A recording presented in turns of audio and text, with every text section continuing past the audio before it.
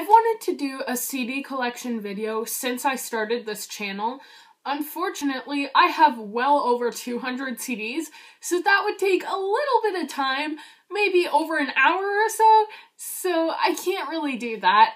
Instead, I decided for this video I would choose the first CD that I saw for every year since 2000, so like 18 CDs in total, and just talk about them instead of talking about my entire collection, which would take a really, really long time. So, welcome back. Today I'm just gonna talk about a few CDs, whatever. Yeah, hope you enjoy it.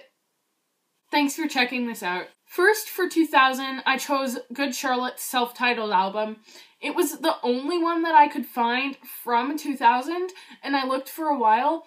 I honestly only know like two songs off this album, but I really love them, so I bought it anyways. It was like $2. And I'm a completionist, so once I have a few CDs by an artist, I have to collect them all. Good Charlotte are really good, and I saw them live last year, which I think I bought this after that. It's a nice CD.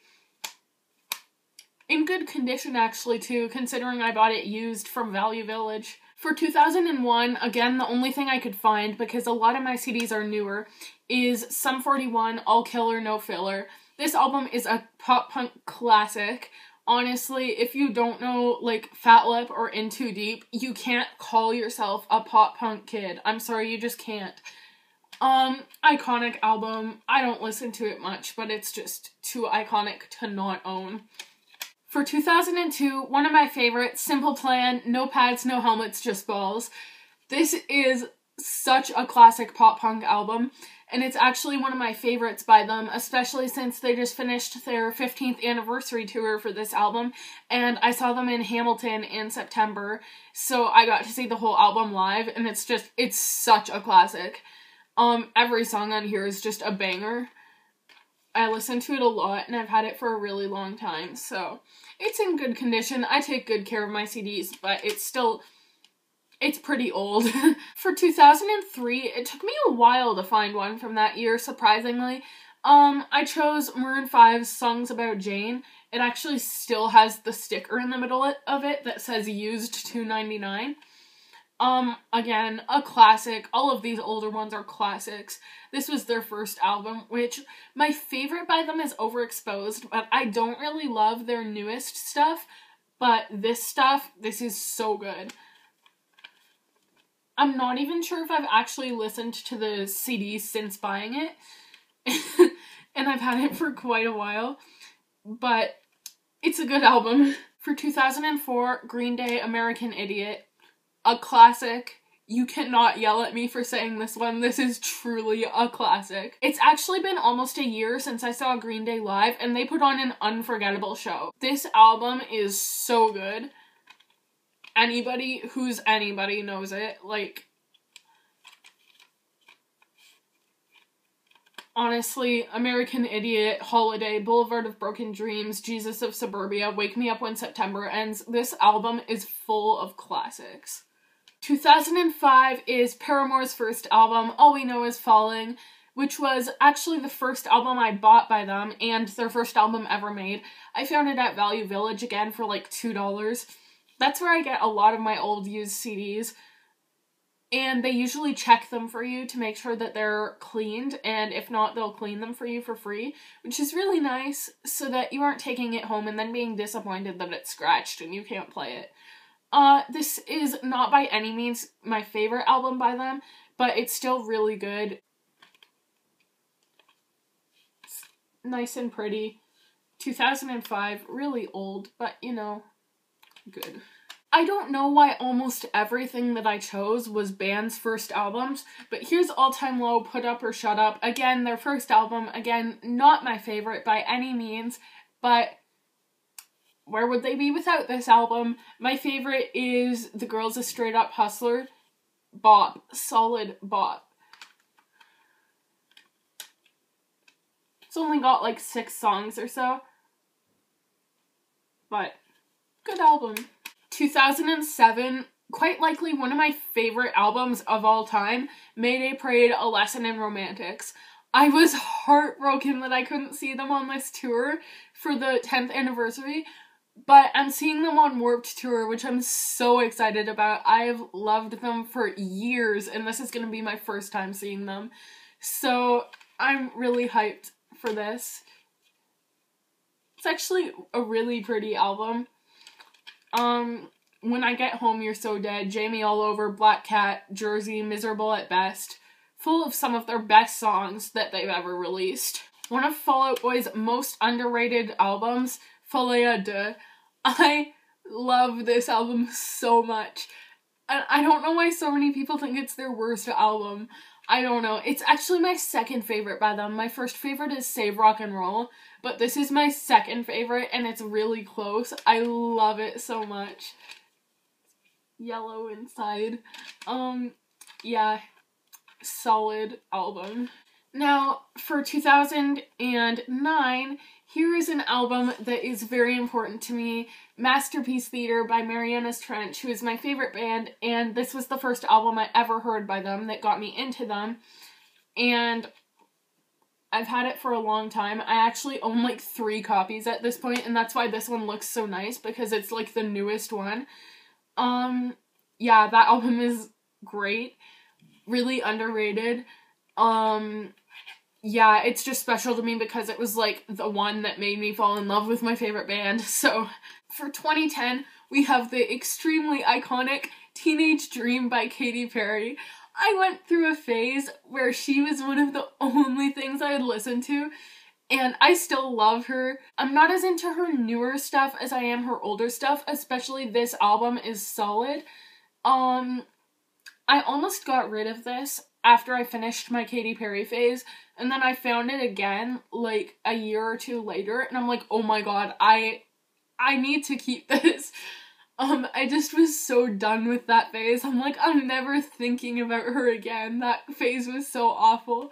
Um, I've basically gone through so many phases, and at this point I realized that like it doesn't really matter. Like I'll listen to all types of music. I don't really care if people don't like a certain genre that I listen to. Cause like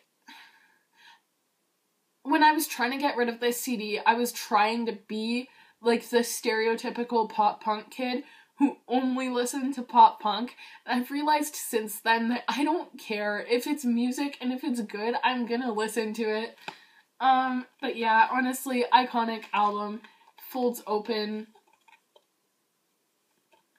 this is, I've had this for a really long time.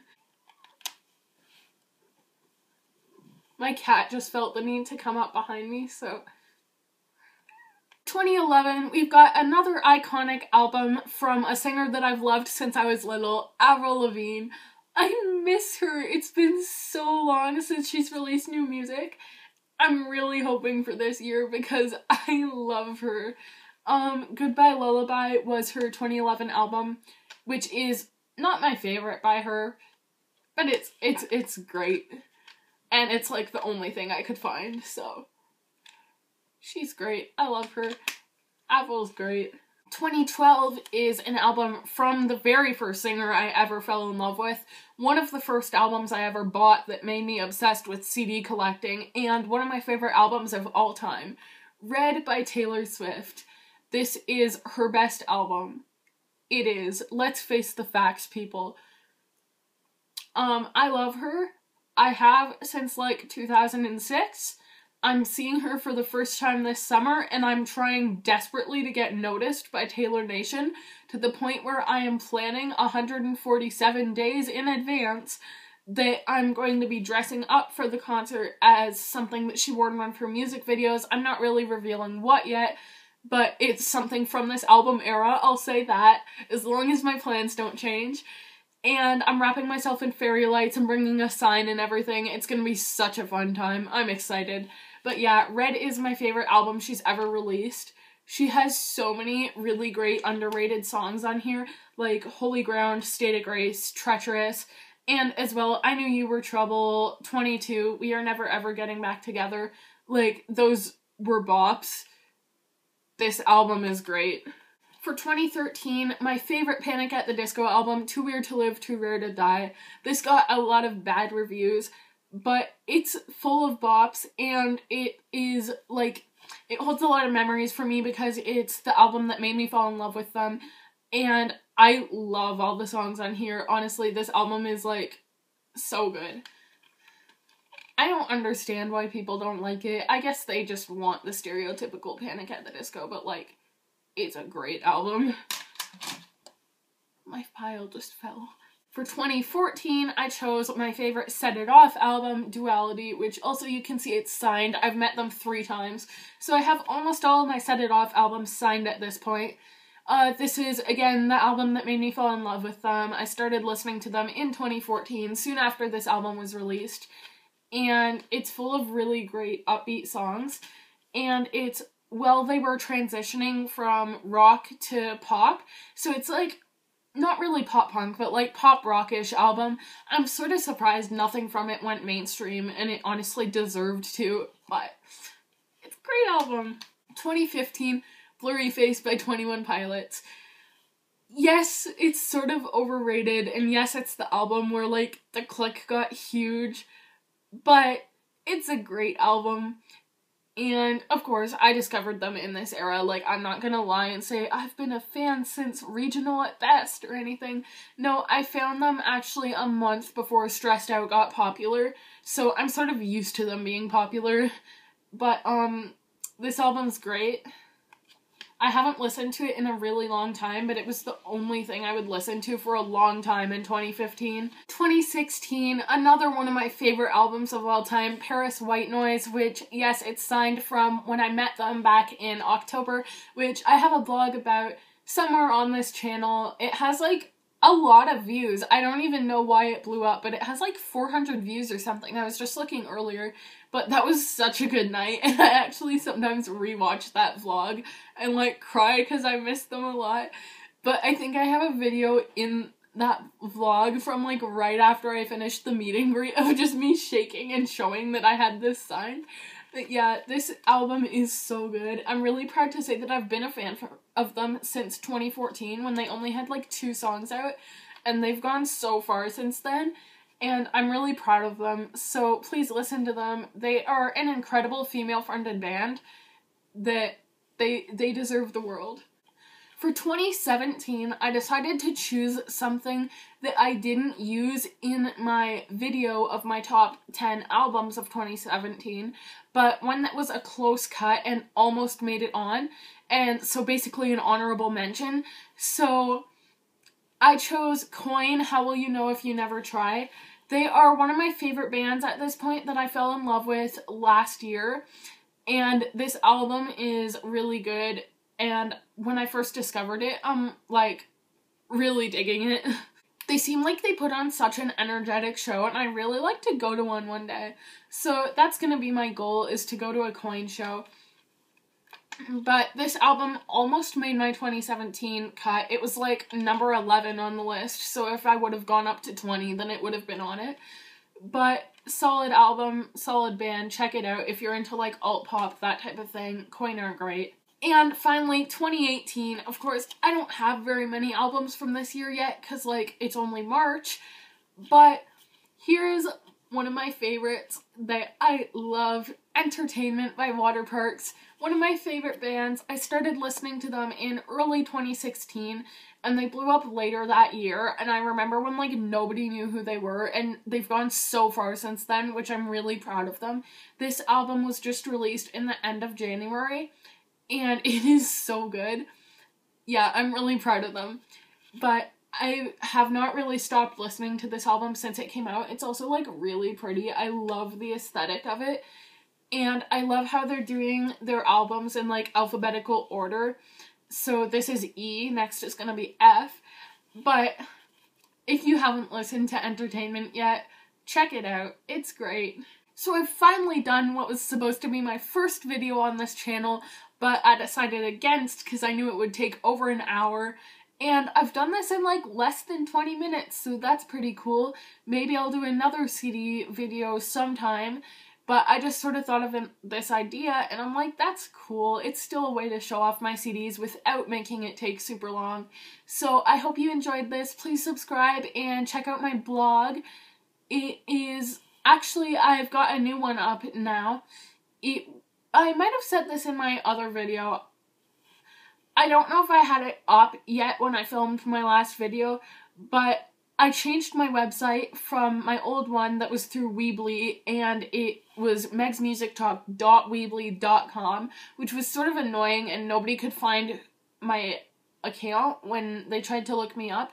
So now I'm just megsmusictalk.com because I upgraded to a paid website and you should definitely check that out because I have a lot of cool features up there, including I recently photographed my first show, which I'm super proud of, and I'm hoping for more photo passes soon. I applied for one with Bleachers, but I don't think I got it. But I'm gonna work on gaining up my portfolio so I can get one that big next time. I've also got a lot of cool interviews and features and stuff coming up. So, yeah, definitely keep an eye on my blog and follow me on social media and stuff if you want. I usually follow back. Thank you for watching. Hope you guys have a great day. Um, check out these albums if you don't know them. And maybe comment below some ideas of what else I can do with my CDs for another video that won't take over an hour. Thank you again. Bye.